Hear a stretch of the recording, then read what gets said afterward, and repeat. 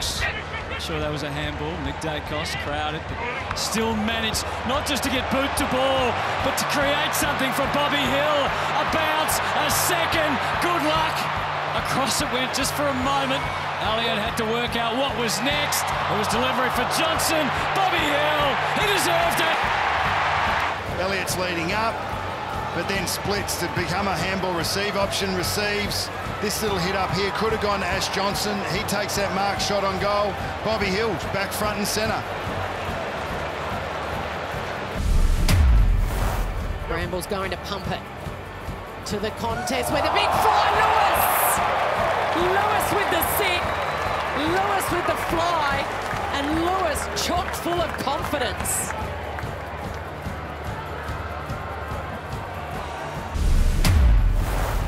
Swans dominant in the first minute of this. Campbell picks it up, goes inside 50 to Amartey, swings onto the right boot with a clever centering ball. Oh, Gulden comes in from the side and takes a nice little hanger to get his game going. Terrific mark from Errol Gulden. The tall's me a little bit frustrated. The uh, little bloke from the inside the mids comes forward and takes a hanger. Darcy works his way into Phillips. Martin works his way out of trouble. So too does Brayshaw. Kicks over the shoulder and kicks one of the goals of the year. A ripper from Brayshaw. Just watch the intensity and the speed at which Fremantle operate in this forward stoppage. Just great tackle, ruthless around the ball, and a great finish from Brayshaw.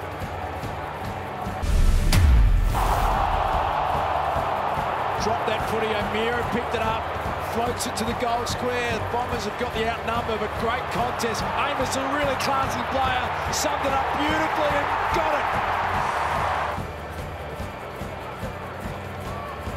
In the direction of Treacy. Schultz is going to be dangerous. Look at the attack on the footy from Schultz. Amiss, something from nothing again. He's kicked the last two for the Fremantle Dockers.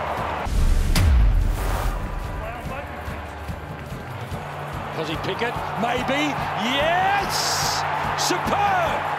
How quick was that? Just watch Viney, what he does here to create the space for Kozzy Pickett. Bombers desperate for a goal through this passage of play. Wright stands tall, had it, lost it, Guelfi. Little shark in play, Stringer on the left boot. It couldn't. What's Jake? So it can and it does. Jake Stringer, he continuously is able to do the unconventional. What a privilege it is to be standing here carrying on the legacy of our great mate Spud. Look around you. This is a proud football community. Everyone in this stadium and watching from home has shown up for this important cause. We want to invite everyone into the huddle for this important message. Being here tonight or watching on from home, this is a reminder that we have each other's backs. Let's wrap our arms around one another and the community. Like Anita said, you're not alone. Thank you for showing up for your mates, your family, and for Spud. Let's roll up the sleeves and get to work.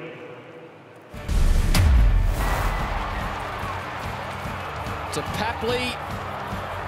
McInerney's in a dangerous area. Throws his boot at it. It's bouncing. It's through. Another one as they're a kick short of a double ton.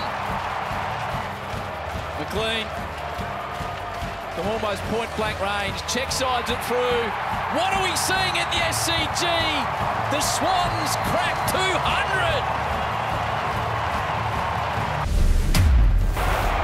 No time to lose. Sloane, there's a way forward. Oh, Taylor Walker is one-on-one with Maynard. Uncomfortable for Brayden Maynard. The coast is clear. And the Tex will relish this. They're not dead yet. These Adelaide Crows. The wrestle is on. Everyone watching the clock, those that can see it. 20 precious seconds. Go forward, Adelaide. O'Brien does. We wait for the bounce. Here's Dawson at his 100th. Toppled over by Isaac Prater.